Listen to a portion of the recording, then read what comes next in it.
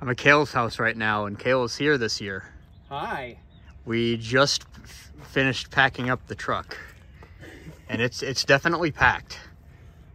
Yeah, it's It's packed. it's definitely packed, and all trains. we have just enough room to bring stuff home, though. That's right. I hope. Yeah. Hopefully, I don't buy a bell or something. We won't have space for that. we'll be tossing out. We, yeah. like, uh, we don't need this. just have to. We'll just have to ship ship that back. But where are we going? We're going to the Amherst uh, Railway show in Springfield, Connecticut, Massachusetts. Massachusetts. It's almost Connecticut. It's almost Connecticut. Do, it's yeah, it's It's close to it's- Connecticut. It's, over the border from Connecticut. Yeah, pretty much. So that's where we're going. And it's what time is it right now? Time to leave. Time to leave, I think. we yeah, we just put all of my stuff into Kale's truck. And as far as I can remember, there's nothing else in my car, so all right. Let's get the show on the road.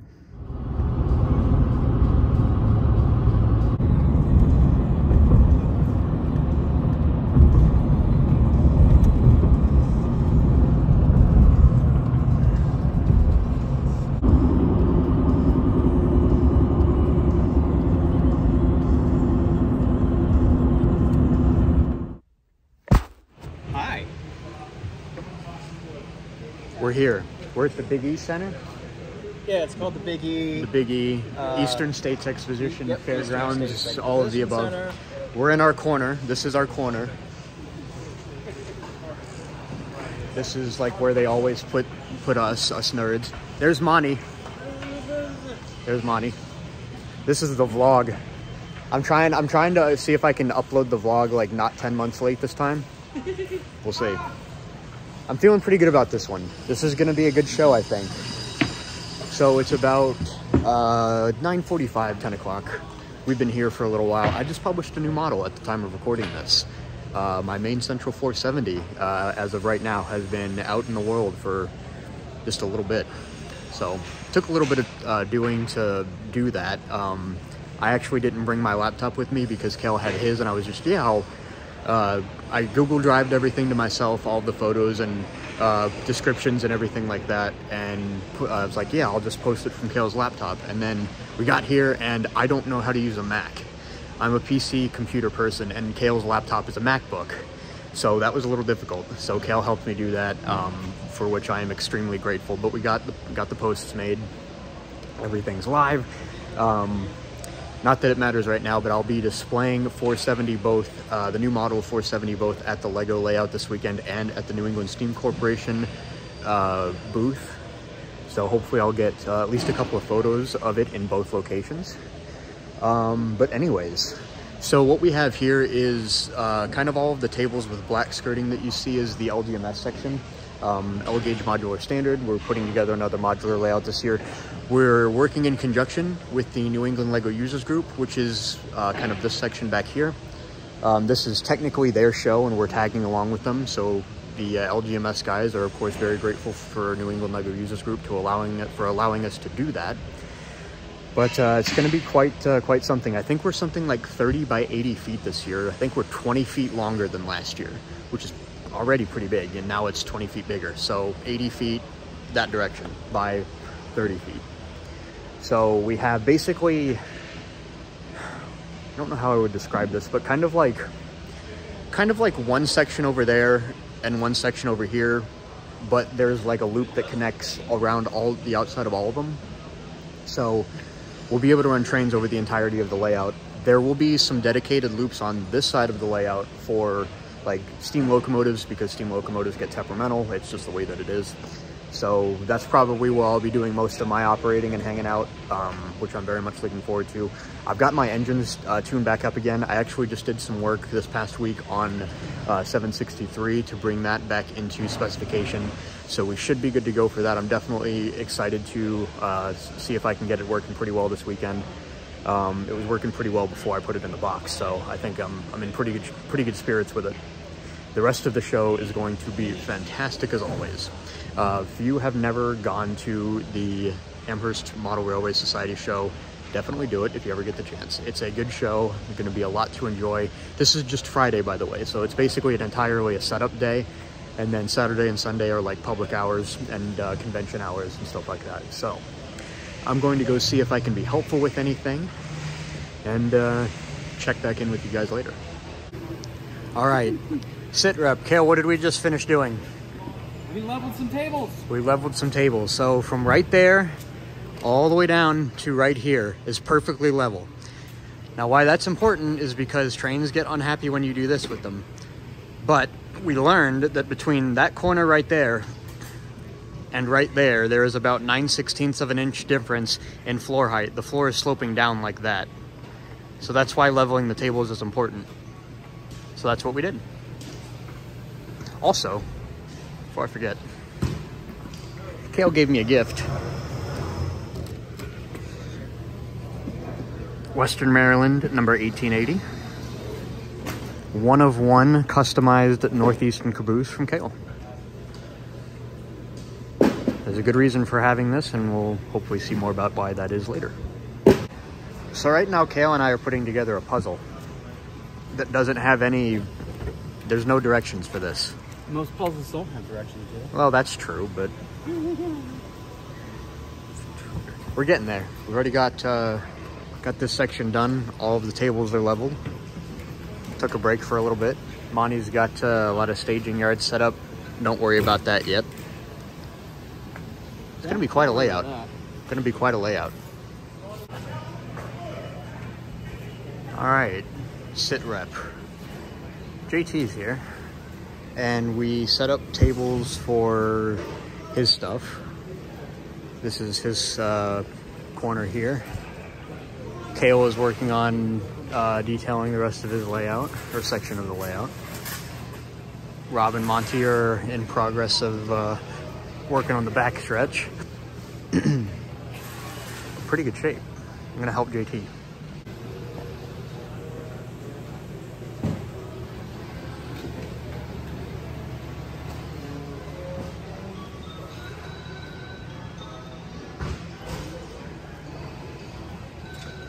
Looks cool with the headlight in the rain. It does. 12 also a Porter? Uh, 12 is an Alco. Oh, this is a Porter? Yeah. Oh, that's cool. I didn't know that.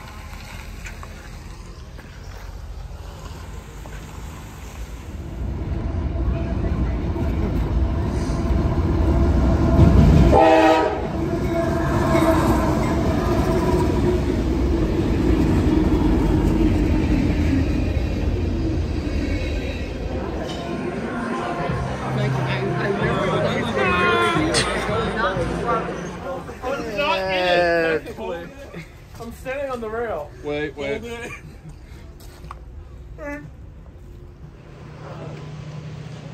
Morning.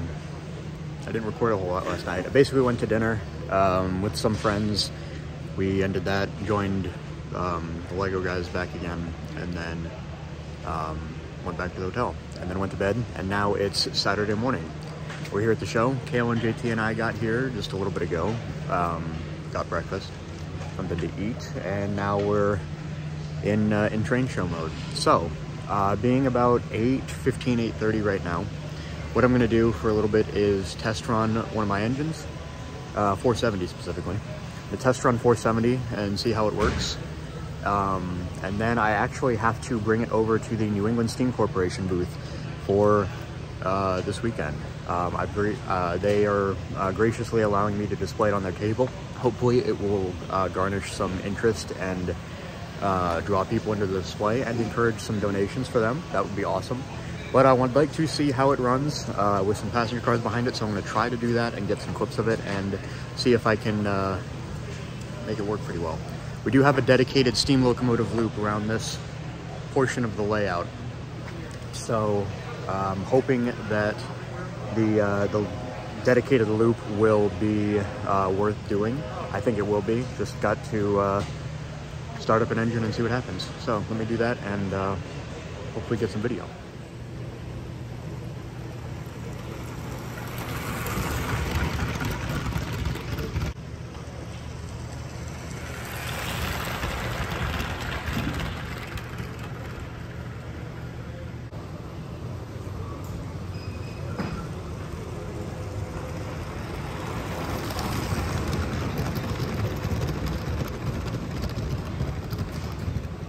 Matt, I'm vlogging.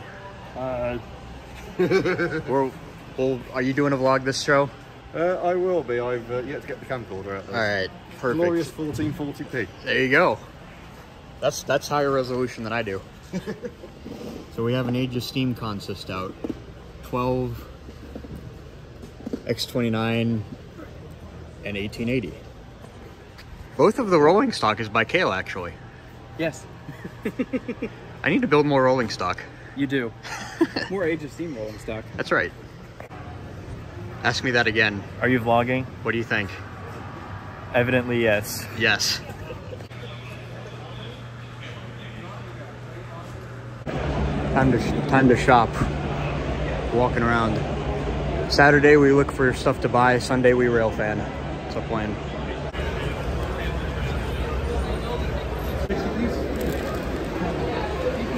Thank you. We're off to a pretty good start. Books, pins.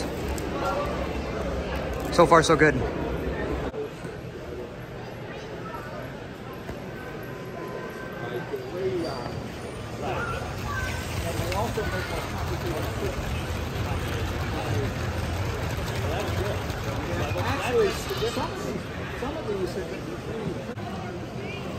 So Jacob, if you want to keep these books,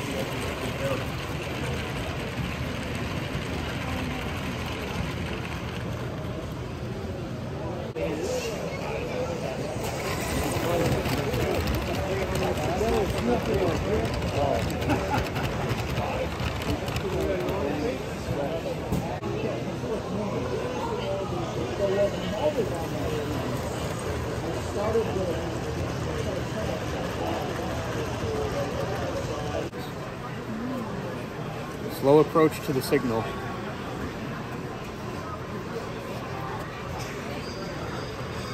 Oh no, I can't afford it. That's alright. I gotta pull it off. Calling out service for that. Switch Tom off. Terrible training. Train handling All right, hey Tom, you're aligned out to the yard. I'm blind? You're Okay. lined. Must through the switch within the interrupt. Hey JT, hold there for a second.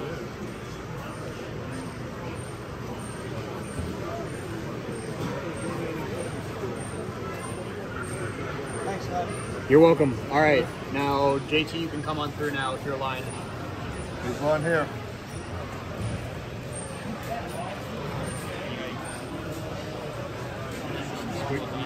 The world's most unlikely meet between the Central Vermont and the Nickel Plate.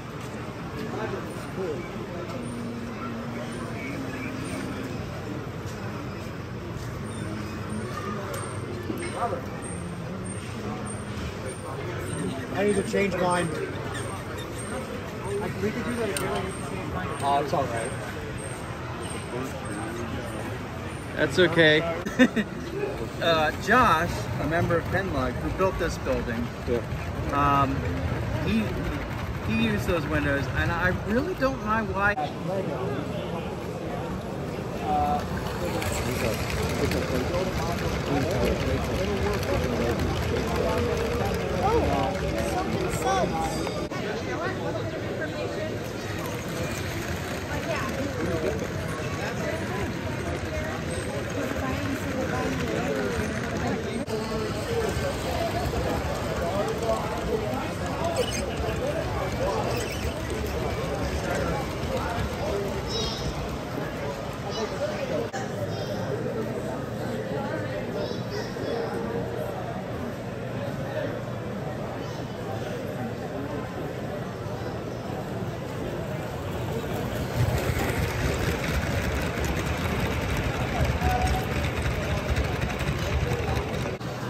Imagine they're building all these Legos.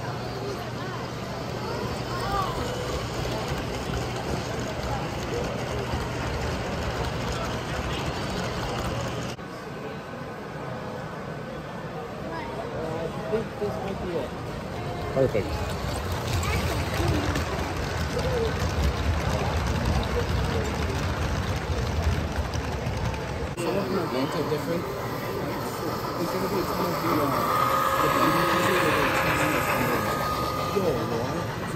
It's a bunch of upside down. I know what it is.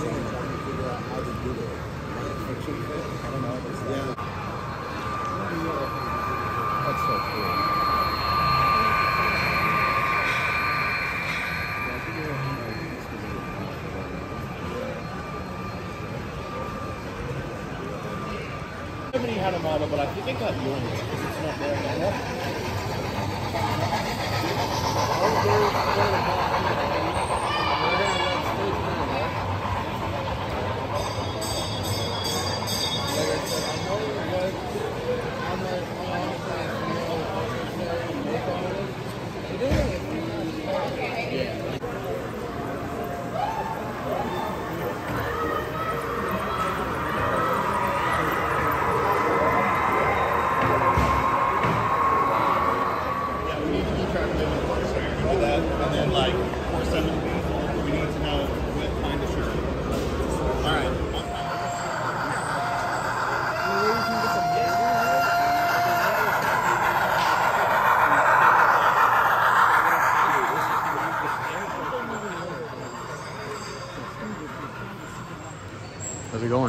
Been a very good day. A busy day. Um, Kellen and JT and I began the day by walking around the show. We started in the Better Living Center, which is one of the four buildings that they have here, and one of the larger, the largest of those four buildings. We're in the other one right now. We started there and basically kind of worked our way towards where we're at. We didn't even go through all of what was there in the two hours and 45, 30 minutes that we were walking around. But we did get some stuff. I showed some of that, that, that off earlier. I got the uh, ticket punch for um, my New York Central uniform. I got New York Central patches. I don't know if you can tell, but these actually still have the uh, gold bullion, which is what they called it, on those. And then I got some more, slightly more plain sewn patches. I believe these are sewn, but they're very nice. I got those. And then I got a copy, finally, of Know Thy Late Mohawks. I have the early Mohawk book, which is classes L1 through L2. These are um, L3 and L4. So, very happy to have that. Came back and we've been running trains pretty much ever since. Um, I was able to run 763 earlier today, and I got a fantastic problem-free hour and 15 minutes out of that, which I'm very pleased about. Um, I don't uh, often end up running a whole lot on some LGMS layouts just because a lot of the nature of show May I layouts. have your attention, please? Scott Osterweil. Anyways, I got a good performance out of 763. Sometimes show layouts do not lend themselves well to running big steam locomotives, particularly mine, and I'd be I'm willing to admit this flat out. I do not build the most robust steam locomotives in the world, but when the layout is taken care of and well maintained and tended to, and you put the effort into leveling the track and cables beforehand, I get really good performance out of my engines. That's what we have this weekend. And I'm very happy to say that because 763 ran perfectly for quite a good long while. My entire hour that I had blocked out to run it was very good, so I'm very pleased with that. Um, I also ran uh, my Moorhead and North Fork 12 for just a little bit. And of course, I ran my copy, my model, my brand new model of Maine Central 470 earlier this morning uh, before I uh, brought it over to the New England Steam Corporation table for them to display. Now, in the later part of the day, I ended up bringing that model back to the layout, and it's sitting over on the display track right now.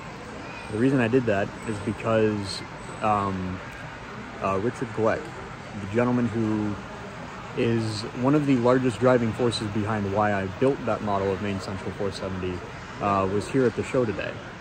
And so this is the first time that I've met him in real life, and the first time that he had seen my model of 470. So I had to take a trip all the way basically across the across the show from one corner to the other, quite literally, and grab that model and bring it back so I could uh, show it to him. And um, I was able to do that, thankfully. And I was able to operate it uh, for a little bit um, for him because he had never seen it before.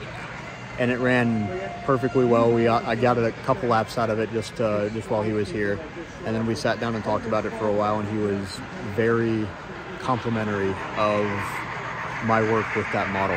And hearing that was probably one of the most gratifying parts of this entire show. Because to hear a such a high praise for a model that I've designed from the former president of the group that owns the real model, the real locomotive, is the highest praise that I can receive as a modeler, as a prototype modeler. So it was a big moment. And to be completely honest, it, it was a little bit emotional, but I'm very, very happy with how the day has gone. Um, that was definitely the highlight of the day. So it's been quite a good day. You probably have heard Kale's Pennsy A5 running in the background, which is the loudest engine here by far, I would say. Um, we're about we're less than 15 minutes towards the to the end of the show today, um, but it's been a very, very, very good day. I think for just about everybody involved here. Been a good group of people, good layout. The layout has been fantastic. We haven't had any major problems on the layout at all, um, which is always a good thing, of course. So we'll be wrapping up here in just a little bit, and then we'll be going out for some food, and then probably we'll pick it back up tomorrow. So let's keep see what happens. Unless you're from Pennsylvania and you're like, can you leave the state now? Something like that. Yes. Brilliant. Every Pen- Show's closed. We're chilling out. We're gonna go to dinner soon. On that note, this is the only train show I've ever been to where they sell alcohol at the show. Yeah, I was in right next to our booth. It's almost like they know we're gonna have to put up with the clowns all day. Group dinners at conventions get really weird. You guys are all on the vlog now. Say hi.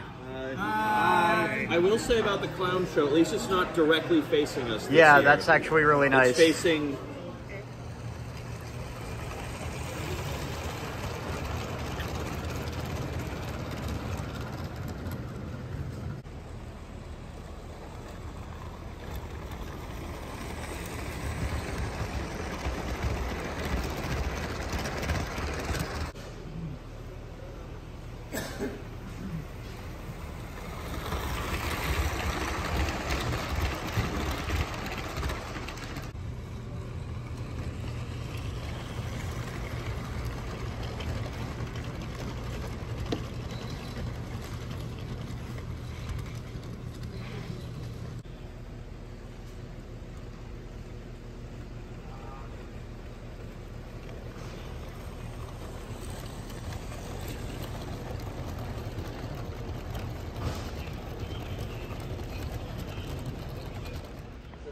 Once again, good morning. Oh, sorry. We're vlogging now. We're vlogging now. Sunday morning. We're back here at the layout. I don't know what time it is, but uh, show opens at 10 today instead of 9. So we got here super early. We've been just hanging out for a little bit. Uh, I got some more clips of 470 running, which was uh, which was really nice. I will be walking back to the New England Steam booth uh, in a little bit to drop that off for them to display uh, again for most of today. Um, I have a couple of engines that I'd like to run today. Uh, ideally, I'd like to try to run 19, the Mohawk, and uh, BCNG 13. We're gonna try and put a cold drag behind 13 today. I'm kind of looking forward to that. Um, and then 19 in the Mohawk just because I want to run them. So hopefully we'll be able to do that. Uh, we are gonna walk around a little bit more this morning before the show gets too hectic. We're gonna try and be away from the layout for a couple hours at the beginning of the day. It's kind of our usual schedule. Um, and then come back and pretty much man the layout for the rest of the day. So be able to do that. Uh, I got a couple other things that I want to make sure that I try and see and people I'd like to try and visit today. Uh, hopefully we'll be able to uh, have just as good of a day today as we did yesterday. Um, when we were at dinner last night, pretty much everybody agreed that it was a good day. And for me particular, this is so far has been one of the best train shows that I can remember being to. Just the uh, the company, the layout, the trains, the people I've talked to have been absolutely amazing. Having 470 done finally and being able to show that off is the best feeling in the world, especially considering the audience that I have this weekend. I've gotten a lot of good questions about it. A lot of people recognize the locomotive, um, recognize the model, um, recognize me even, which is always really weird for uh, to happen to me. Um, I'm just some guy.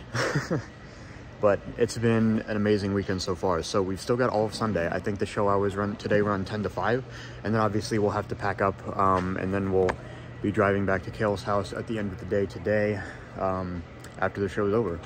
But uh, that's all still to come. We got a couple of uh, good couple of hours or so before the show starts, so I'm gonna see if I can get a couple other things ready to go and get the day started. So we'll check in with you later. Stop recording.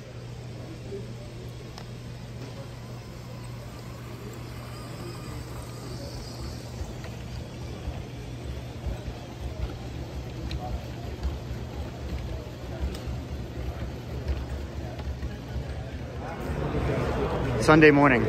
We're spending. Sunday morning. We're, I've already spent more money. Yes. I haven't spent any money this You haven't spent any money yet.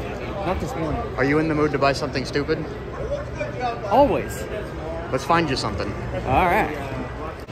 It's been a busy morning already, hasn't it? Yeah. Yeah. a lot of people to talk to, a lot of places to go, and more on the way. This is one of my favorite layouts at the show. I agree. It's it it's so nice. Like this is the kind of scenery that I would like to do with LGMS someday, or would like to see more of on I agree. It's so it's I it agree on all points. and it's very well presented too. Like, I think it's, oh yeah, it's so, I mean, obviously, stuff like that. I think I took video of this module last year. Yeah, it was this one. Is this one is, I think, my favorite with the street running in the middle and all of the, the town scenery in the backdrop. I think this is one of the coolest modules I think I've ever seen. It's Imagine this is an straight running like this, double main. I think that would be awesome. that would be really cool. And look, they've got the cars halfway in the building. It's a bit of Delaware Avenue flavor. My God, this is. This, I want this. I, I, I, do, I do too.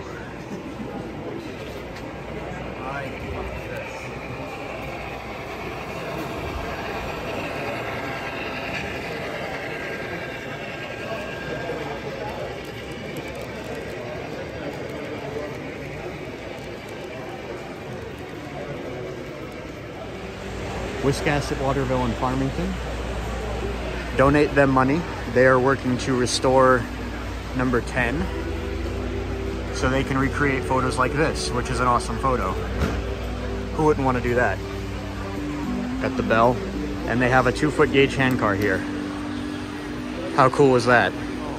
So this is Dan and Nick.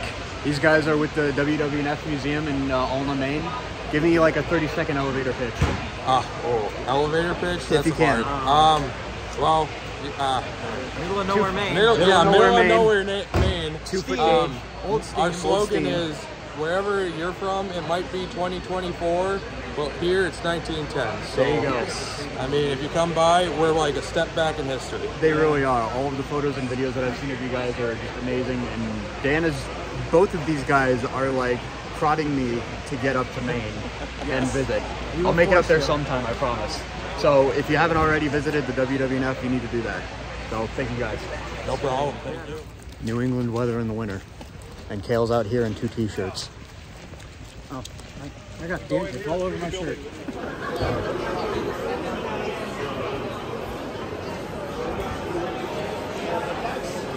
I love scenes like this.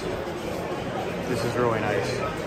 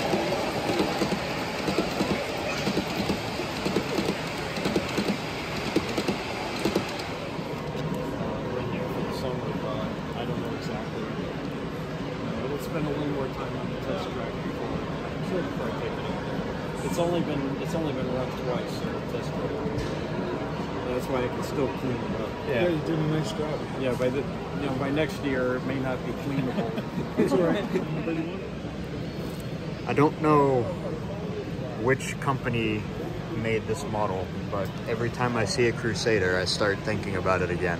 Well, there's brass, and then there was um, The GHB one. yes. I don't. I, this might be the GHB. Probably the GHB. Every time I see it, I think about it again. And I want you to think about it more. I want you to I- think about it enough that at some point you uh, revisit it. I have another Pacific that needs cars for right now, though. Yeah, but you know, Maybe it, let's not forget about this. I, I I haven't complete. I haven't forgotten about it. No, don't forget about it. But, you know, I know you have a list, so in time. In time.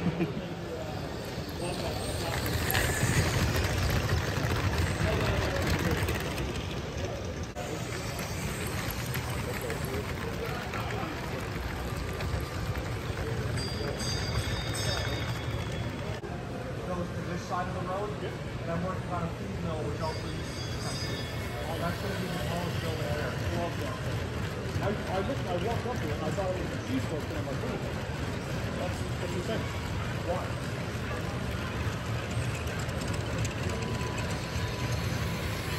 Oh, man, I didn't see that.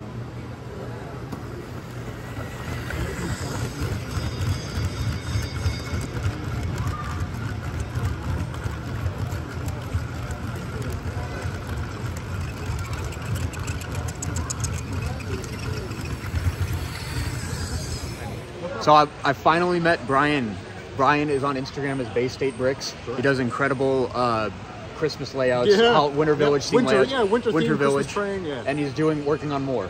Working on more. Working on I have more. no more room to expand, so I've got to like find creative ways to change it up every year. Hey, there you go. It's It's, wild. it's what it's all about. It's always Yeah. adapting and, and changing. Yep. Well, Finally got to meet these uh, Yeah, I Lego train heavy hitters here. Everybody's here, Yeah. and we finally got to meet Brian. So Yep. nice to meet you, and All enjoy right. the rest of your Likewise, day. man. Take yeah, care. likewise. They have like a controller, or they they just like one speed and it just goes. They are uh, battery operated and remote control.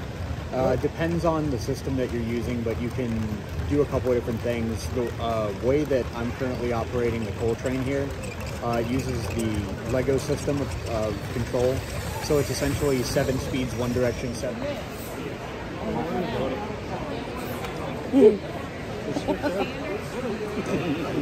Don't pick it up by the handrail. Kale, don't pick it up by the handrail. By the way, Kale, did you back? We're back at the layout right now. Uh, what we're going to do here in a minute is Kale is going to power on his Pennsy A5 switcher. We're going to use that to build a Pennsylvania Railroad consist for his H10 and do some operation kind of kind of things, which uh, tend to be really fun. So I'm going to be the brakeman. Uh, in this case, Kale is going to be the engineer.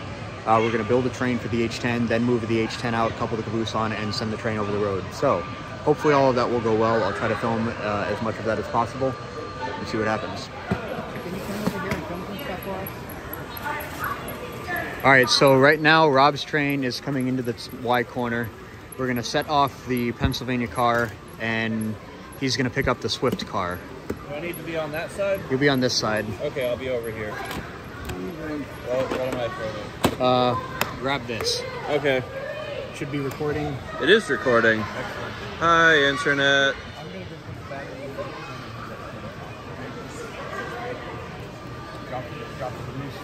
All right. Oh, this is a really good camera.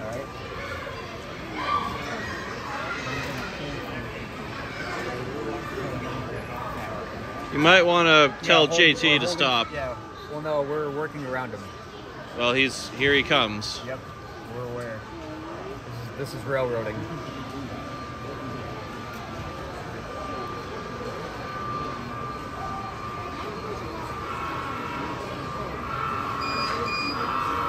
Rob, what I would do is grab the covered hopper, move it to this line, and then grab it.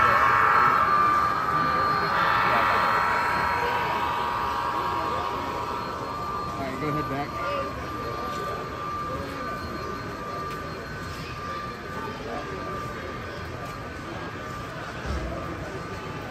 Oh yeah, you leave this part here too. I'm into Legos too. Well, you're in the right place. yep. All right, go ahead and come forward.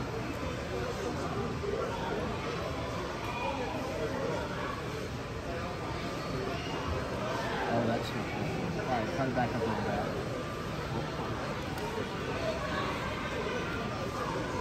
All right, try to back up a little bit.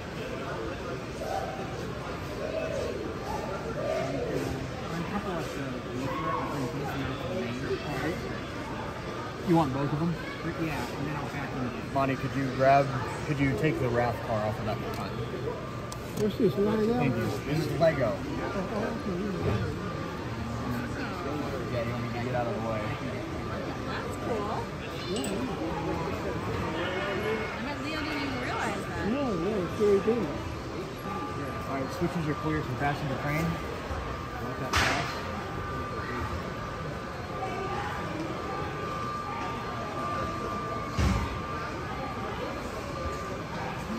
It's funny, I, we just saw this, uh, we saw a set, and we didn't know who he was.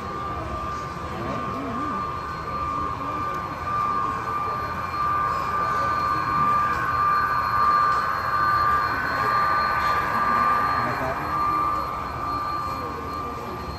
All right, go ahead and come on back, cross the main, and I'll put you into the siding. Just have to pull over.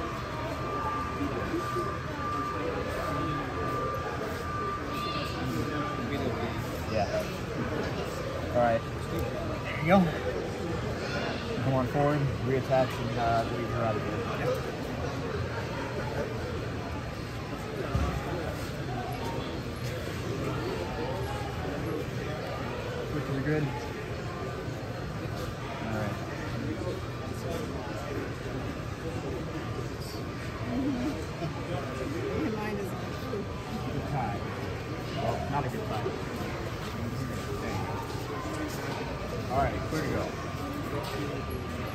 End part one. 94 is simmering in the yard. So our game plan, I think we should take 94, run down to Point of Rocks, and pick up the R7 reefer. And then we'll bring it back to our staging area and assemble the rest of the train. Sounds like a plan. All right. How's the inside line look? Uh, Rob, why don't you pull into the yard here? We'll wait on you and then head on onto the main. So you pull out front ways, Rob will pull in on this track.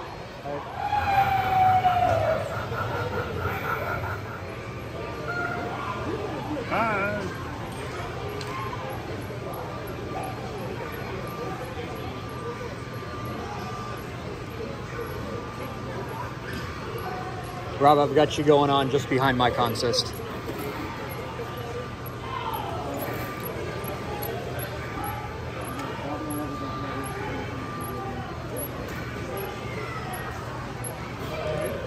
All right, 94. Take us to Point of Rocks. Round Point of Rocks. On to Point of Rocks.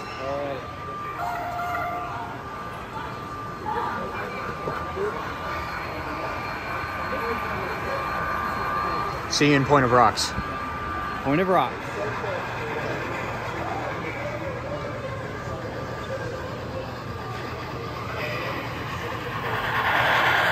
All right, Rob's taking over as brakeman. What I vote to do is go ahead and cross the main and occupy that siding before the express train gets back. So I'd go ahead and move over the line. We'll put you on the siding with the reefer. But again, no, everything's. So? So I say we occupy that switch until the passenger train crosses back. Pick sticking out of Yeah. Bin to create Yeah. the item itself.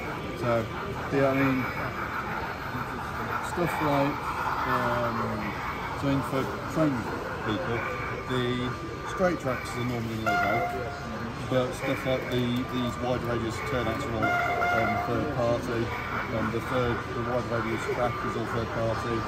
Um, the rods are normally third party for steam locos and certain diesels and electrics they've got like rods. Um, the wheels are normally aftermarket as well.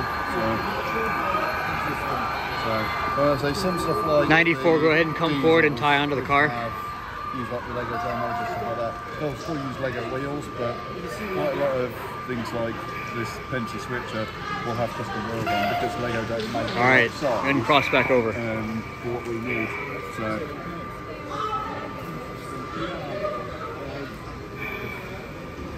With how many were here, I was fairly convinced this must be a whole. You need to put the put the headlight back into the electrical shop. Yeah, you can pass over that. Bad order the headlight or the rear headlight. Um, So I'd get on out of there. It's on-ish. It's slightly. my welder's done. It's just dim. You have a dim selected. I have a dim selected. All right, I'd go ahead and get out of here. Alright. Go ahead and cross back over the main. like a clear instruction set. So, for example, if um, you buy like a kit from BMR or something like that, they'll give you the instructions, the aftermarket wheels, and then the custom parts come out the kit, and you the level. And so you just need to go and source it from those sets and aftermarket size for shops. So,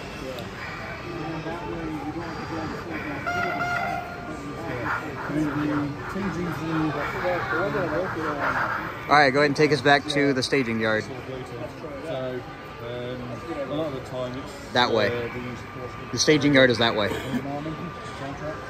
Hey, your headlight's on now. Oh, yeah. Yeah, so it's just an off, off the market quite easy to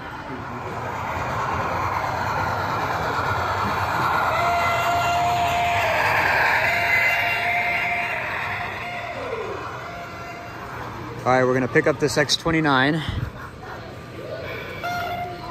come back into the siding.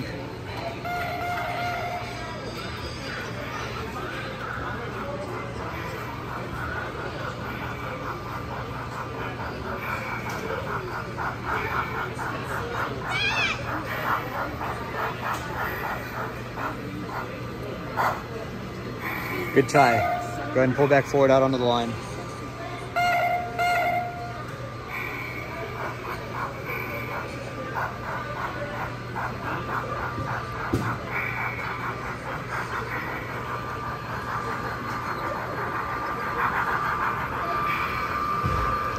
Bring us on back.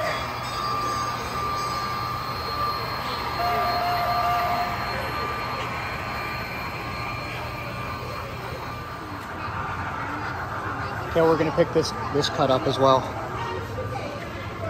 I don't think we can get fast enough to find that out. I don't think there's enough length. There's there's always to be a turn. You've got to slow down. But I mean, like, like I saying, for the most part, when they're when they're properly ballasted smoothly, you actually get a real nice jump. You get a real smooth. untie us there, Rob. Nice having two brakemen. All right, uh, take us forward. High speed. There you go. There's an Acela over there.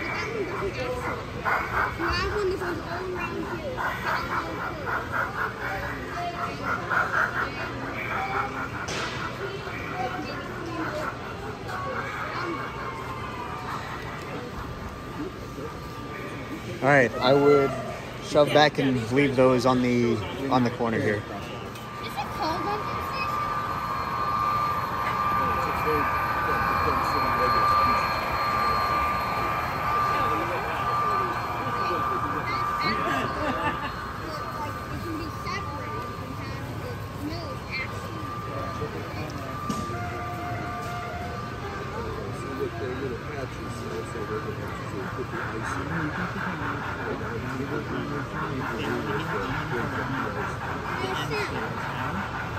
We'll stay with that. We'll stay with that.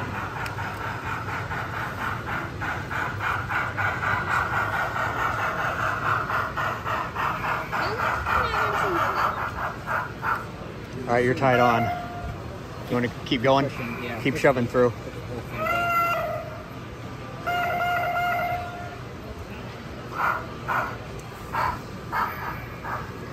That is a heavy consist.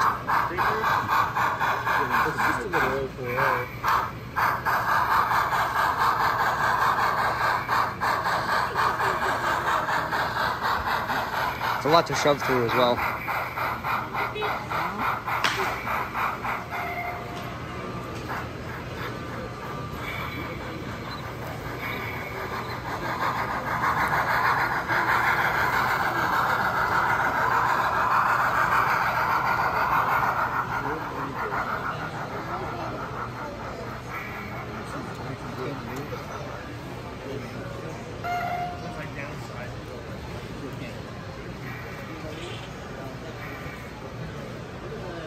Ahead and come on back. Do we want to put them, grab the hoppers now or grab the consist? All right, we'll grab the hoppers.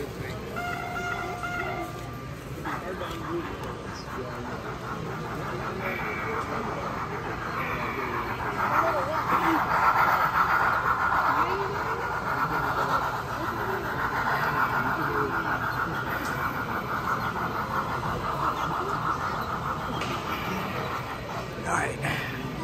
And and tie into the hoppers on the dock.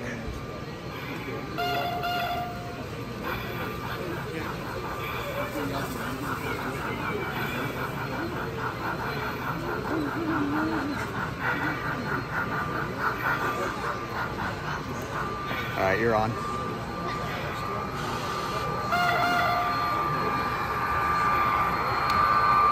ahead and take us back.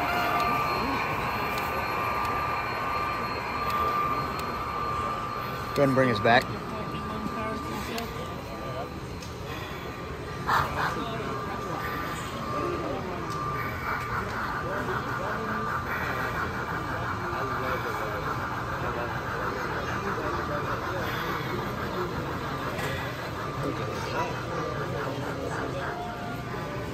So bring us forward and yeah, we'll hold it to hold before you enter the main. All right, go ahead and come forward. With a decoupling function. Go ahead and come forward. I can, I can use it all day on these yards. It'd be fun.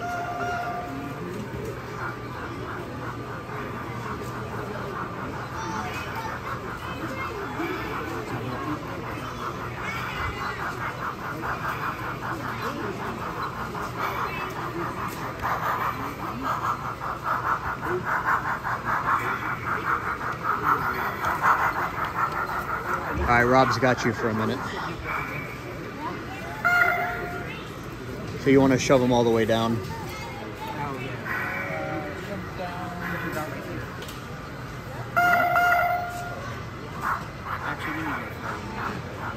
Uh, put them, put them past the switch there.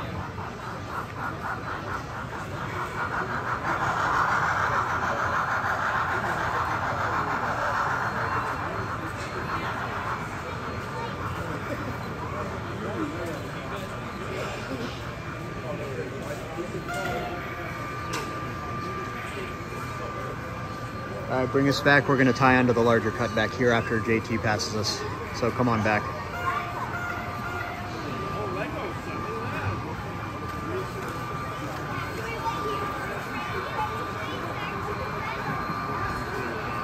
Is he picking them up? Yep. Yeah, we'll pick it up here in a second.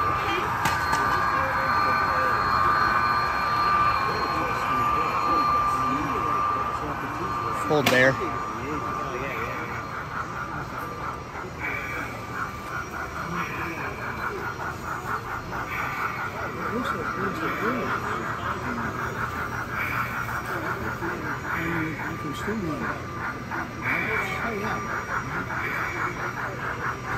One car, half a car, 10 feet, five feet. That'll do. All right, go ahead and bring us forward. We're gonna cross the main once again. Is this Lego? Yeah, the layout, the have you seen the Lego uh, layout?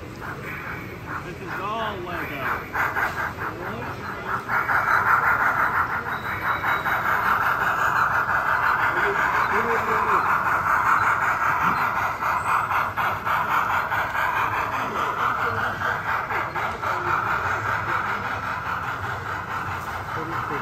At the jaws, when you start playing, to the it's closer. Oh, we're all right.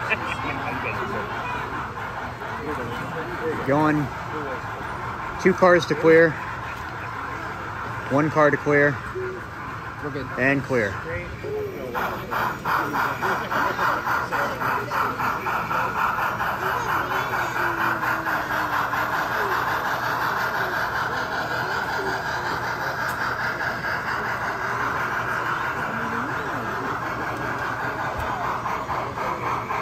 That's good.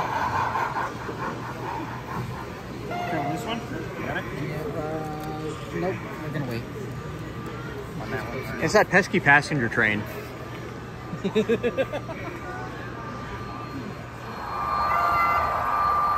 he off? Is he off that consist?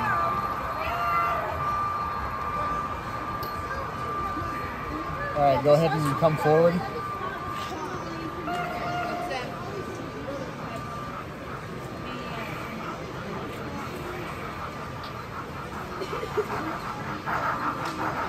You get that switch off. Cassie.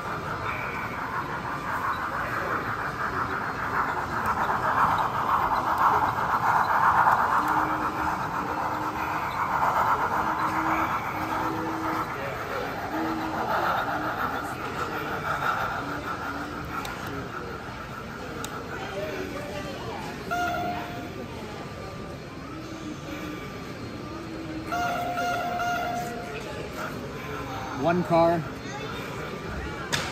half a car, 10 feet. Good tie. All right, take us back uh, 20 cars to tie onto the rest of the consist.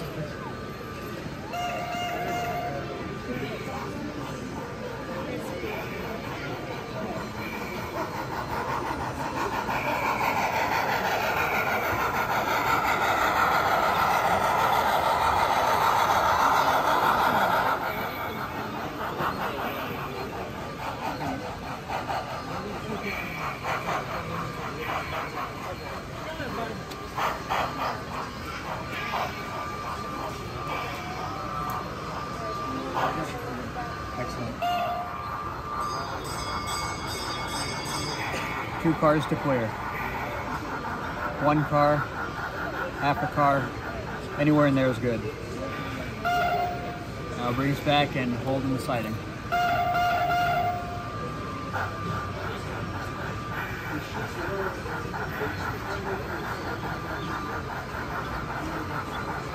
Anywhere in there is good 94. I feel like it gets slower.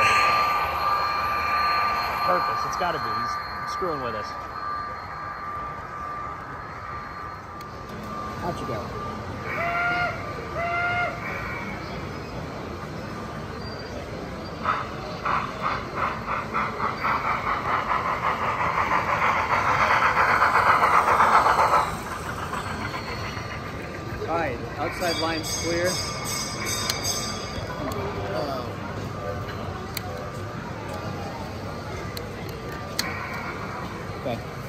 Clear. Come back to the other side of the console. Going back.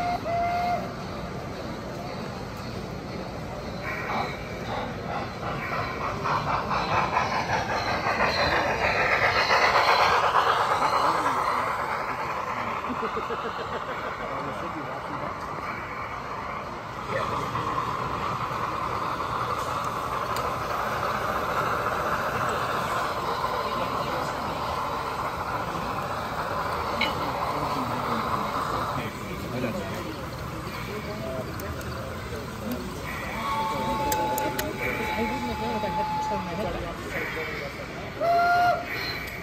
They keep going back and forth. Seventy about five.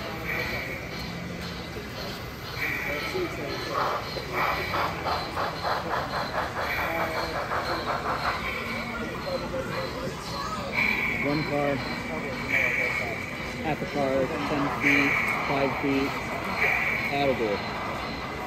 And shoving for the Six cars. Five, four,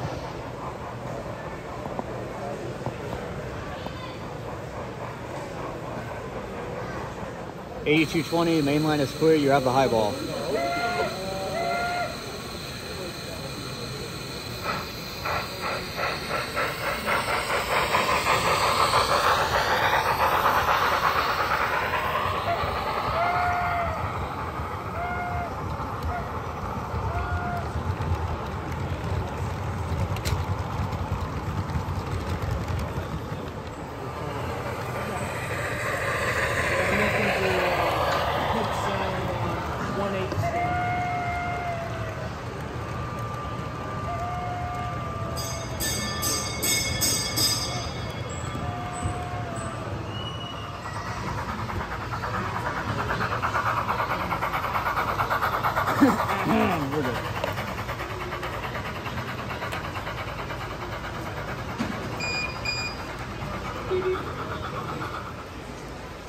And for my next trick, I will make my money disappear. What did you buy? I bought a New York, Ontario, and Western lantern. That's a cool thing to buy, though. Yeah. Where is it? It's under the table. Why is it there? To keep it safe. Fair enough. I protect my investments. Fair enough.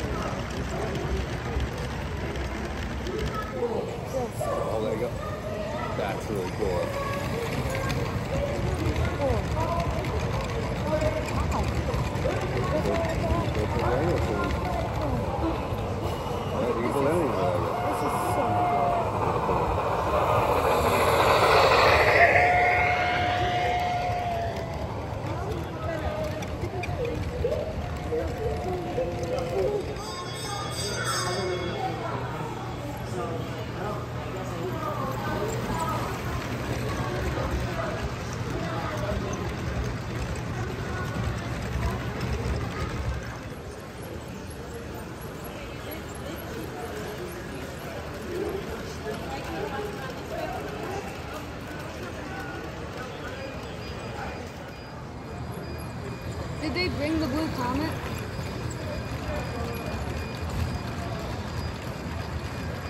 See, oh, Owen, these are all the ones with the custom side rod parts and like the custom pieces. It's been a very busy day. We've been really busy. with Very the lay- busy. with the layout and trying to walk around. We didn't even get to walk around the Mallary building, our building as much as we wanted to. And we're just over an hour until the show closes. So right now we're on our way to pick up 470 from the uh, from the New England Steam Corp table. So we'll do that and then we'll begin to wrap up the show. Etiquette check. Etiquette check. Etiquette check. Should I leave this on in the yard or is it all okay? I'd say we can start mean, my big thing is as long as their train's running right up until five. And then the scenery space. You gotta see.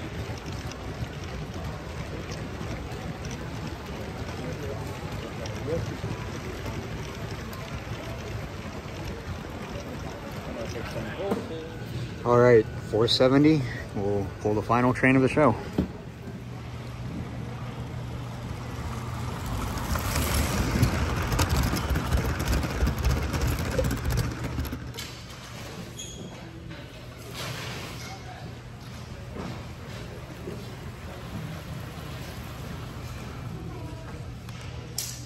Five o'clock, right on schedule. Show's over. Packing up. Only an hour after trains stopped running. We know how to nuke a layout pretty well. Doesn't take long. Something like that. We're out of here. But first, food. Food. Food.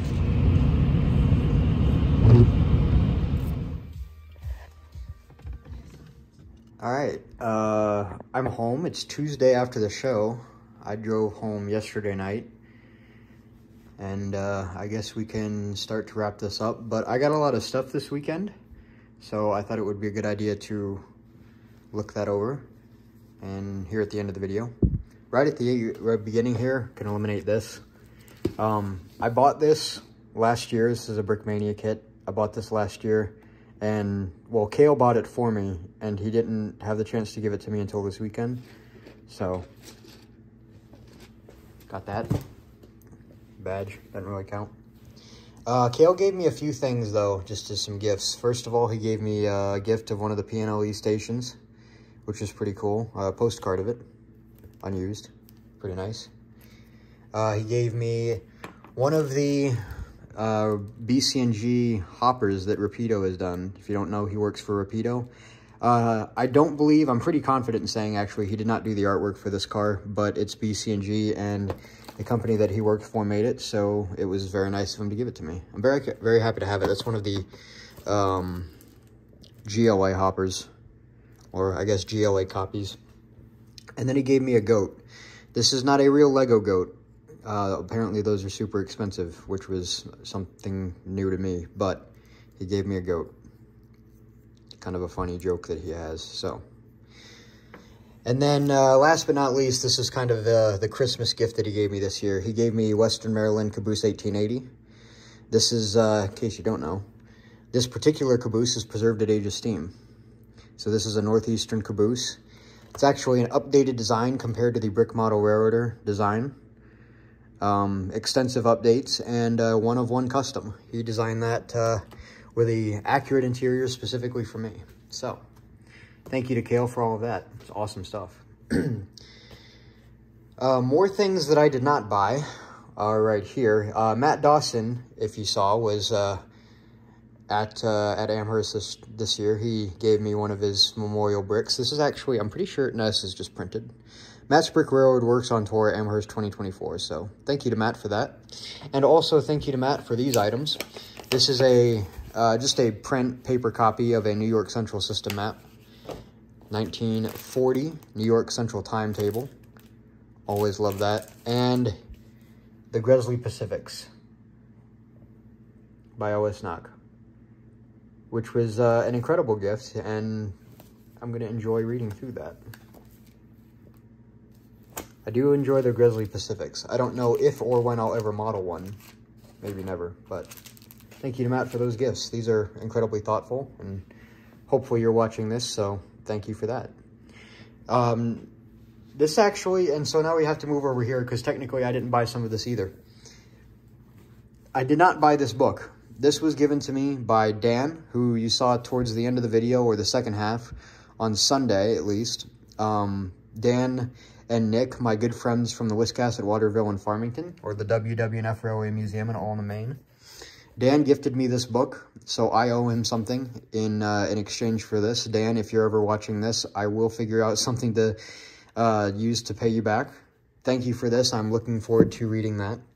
I also bought, thankfully, WWNF t-shirt, magnet patch, pin, and I sent him some donations, both in uh, both by card and uh, in paper. And I got one of these 3D printed, um, I guess it would be a number plate, but it, they are working on restoring the number 10, which is actually that one on the magnet. So they're working on restoring that locomotive, one of the two foot gauge engines.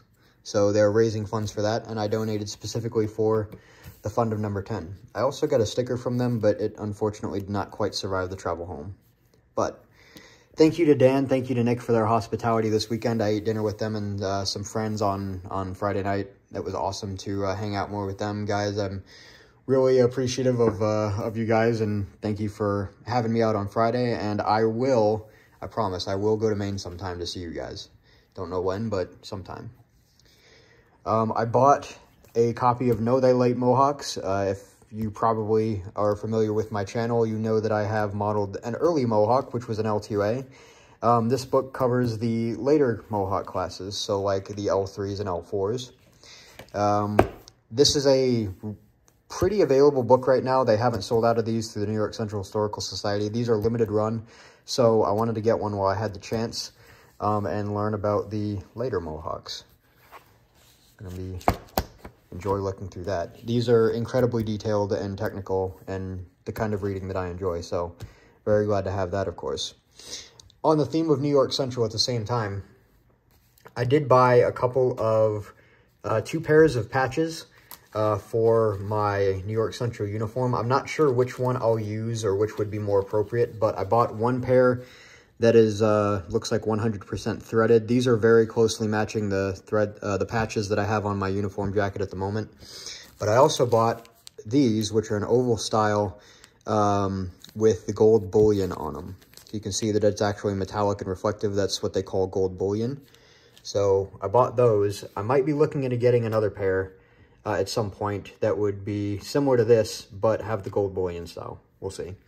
Um, but very happy to have those. That was uh, that was a neat find. And kind of in a similar vein, I bought an extra ticket punch.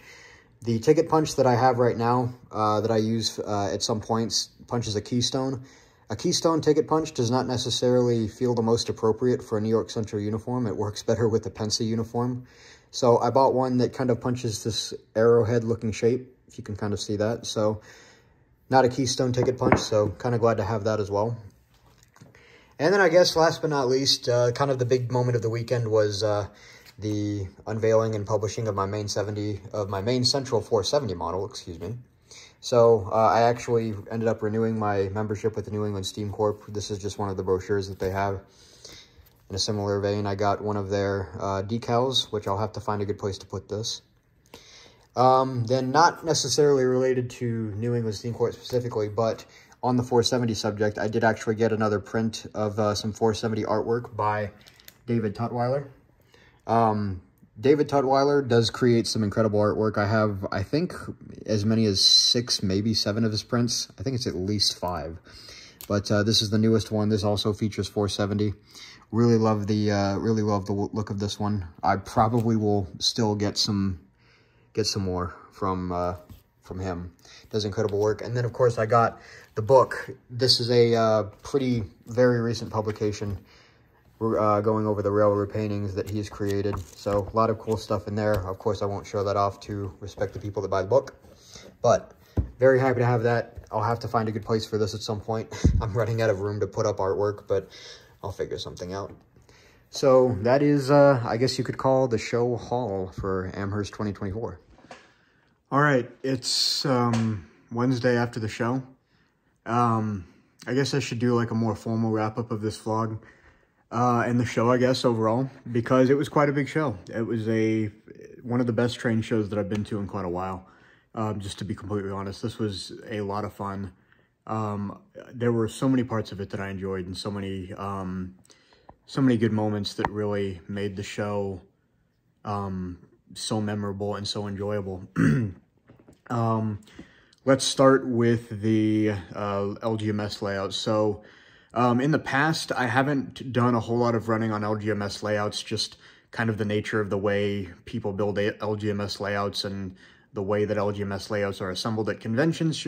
Sometimes there's less emphasis on putting the layout together uh, with the idea of keeping tables as level as possible. It it just happens. You can never get anything perfect. This time, though, there was a an actual effort to make a loop that was theoretically that would theoretically be more forgiving for steam locomotives and stuff like that. This was not done for just me. This was done for a number of other people um, that did not run as much last year during the show. And that did its job very well. Um, it was so nice to have my models work uh, fully and properly, uh, which I know that they should and can um, on a public layout like that, on a public uh, joint group layout like that. Um, I got an hour and 15 minutes out of 763. I took up the entire hour plus that I was supposed to run that. Uh, I ran the Mohawk for about an hour or two. No problems there. Um, I ran 12. I ran 13. I ran 19 for a little bit. Of course, I ran 470. Nothing had any major problems.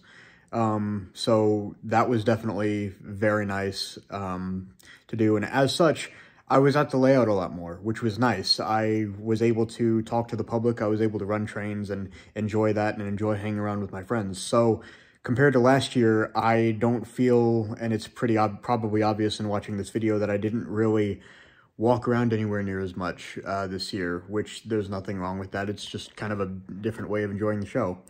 But um, the layout was a lot of fun, and I'm glad to have been a part of it. I'm glad that I got to run my trains, and I'm glad that other people had... Uh, had a good time too. the show was fantastic overall. If you uh, have only seen photos of the Amherst show, it doesn't really do it justice because there are literally four buildings, too large and too small, uh, filled with stuff.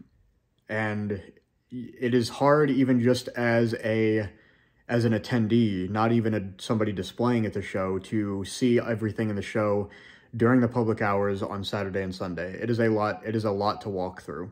If you really want to stop and look at things properly, it's a lot to see. Um, so I didn't record uh, very much of that at all. Just kind of the way it went this year. Just was so busy, um, just with everything else. I was able to walk around, of course, got some good deals, as you saw in the haul section of this video, um, which I'm very pleased with. Um, it was great to finally meet Matt Dawson in person. I've never met him in person, but awesome to meet him. Um, several other people and good friends coming back for the Timonium show, several people that hadn't been there before or hadn't been there recently. Uh, Conrad and Rob, for example. Um, JT and Kale and I were hanging around for the majority of the weekend. Of course, it's always good to see Monty, Chuck, Elroy. Um, Tom was there, the gentleman who brought the New York Central diesels. He was there. Um, there's other people that I know I'm already forgetting, but also the NELUG guys, which I didn't talk to very much at all, apart from Mike Ripley, um, which was, uh, which was very nice. Um, just kind of the way that this event worked out. I didn't, it was kind of difficult to, uh, to do everything. And unfortunately talking with the NELUG guys fell through the cracks, but, uh, of course I did make sure to say that, uh, as an extend my thanks, uh, for allowing me and by extension the LGMS guys to tack onto their layout for the weekend because technically it was their display. Um, that was the name. Um, that was the name that we were kind of grouped under on the um, on the layout plan. So thank you to NELUG New England Lego Users Group for allowing us to come and crash your weekend. Um, but no, it was a lot of fun, and I think that they had just about as much fun as we did. Um, and I guess the big thing for me this weekend was publishing 470. So 470 is out there, out in the public, gotten a lot of positive attention so far, which I'm uh, honored and thrilled to see. Um, a lot of people noticed it and recognized it this weekend. A lot of people uh, recognized it and were uh, able to enjoy it and appreciate it on the New England Steam Corporation table, um, which is where the model sat for the majority of the weekend. For a couple of reasons. One is because that was the goal that I had in finishing the model for this show, is to display it with them again, like I had uh, the previous year. Of course, last year it wasn't finished, but you get the idea. Um, that was the goal for this show, and kind of in in a much smaller part, but as but secondly, um, 470 is not. It operates obviously, but it's not operating the way I had designed it and meant to be operated. Of course, I need a powered baggage car or powered RPO or whatever to run longer passenger trains. That has always been the goal from the start. Um, in my opinion, it doesn't detract anything from the finished 470 model. It's just the kind of the nature of building a Pacific type like 470 or at least that's the way it is for me right now. Maybe that'll change in the future, but you know, here we are.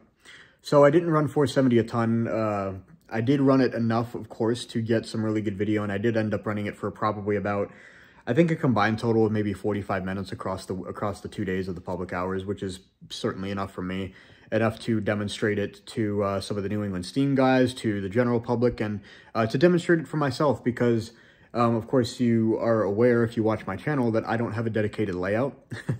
so going to shows and running on layouts is kind of um, what I uh, what I do apart from running on my floor. So being able to run it on the LGMS layout and get shots of it, for example, blasting through uh, JD, JT's uh, Waterbury, Vermont module was just awesome. And thank you for JT as well for letting me borrow all of your passenger cars for that because I don't have mine built yet. They are coming, by the way. And probably the biggest thing this weekend regarding the 470 was meet, meeting uh, Richard Glueck in person. Um, I've never met him before in person. We've emailed, we've had dozens of email correspondences together. Um, he was very well aware of the project. He was, he has seen this model come together since before it left the digital format uh, in studio. So he is very familiar with this project and was hearing him sing the praises of the model this weekend was probably one of the most gratifying experiences I've had with this hobby. Um, he is ex extremely, uh, he extremely appreciated the, the model that I was able to put together and extremely appreciated being able to see it in person. Um, and I'm very grateful for uh, having had the opportunity to do so and be able to present it to him in person. Um, so that was, uh, that was probably the biggest thing for me this weekend. So I guess that just about wraps up the vlog. Uh, even recording this Wednesday evening after the show, it's currently January 31st. The Timonium Maryland show is coming up this coming weekend from right now, and I would like to vlog that as well. Uh, we'll see how that goes. I did not vlog it last year, but I did go. Uh, kind of had a similar unfortunate experience. I didn't get, I didn't run uh, a whole lot of my stuff last year uh, on the layout for similar reasons, but we'll see about this year. Um, but I'm looking forward to the show anyways. Timonium uh, theoretically should be a lot less intense than Amherst was. So I'm kind of welcoming that at this point. Um, Amherst was quite a hardcore show, for lack of a better term, but it was a lot of fun.